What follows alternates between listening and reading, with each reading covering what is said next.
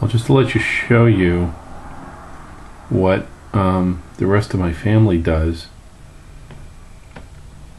There you are. There's KittenKattan. There is the ancient medieval stripy cat. He's about uh, 14. And uh, Winkin of Winkin, Blinkin, and Nod. Uh, all on the poor dog's bed. The dog has never used it. So just to make, I don't know, just to give you a little, little happiness. Kittens living together in sin. There you are. Aw.